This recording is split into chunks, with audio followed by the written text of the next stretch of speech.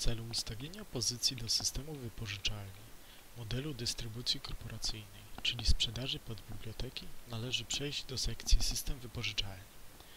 Zaznaczamy system wypożyczalni.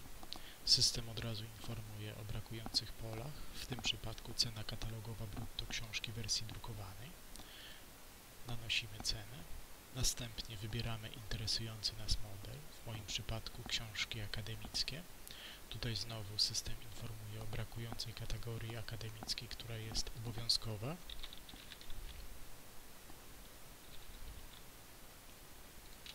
Uzupełniamy ją, zapisujemy i zaznaczamy klient korporacyjny.